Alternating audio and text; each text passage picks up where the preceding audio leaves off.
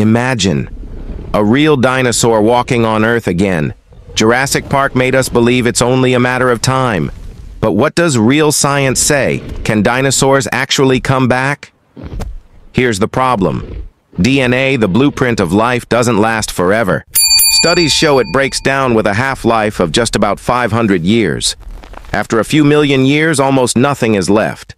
Dinosaurs went extinct 65 million years ago, which means their DNA is long gone. So, Jurassic Park-style cloning?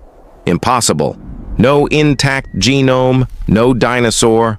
But scientists aren't giving up on the idea of That's resurrection. Of.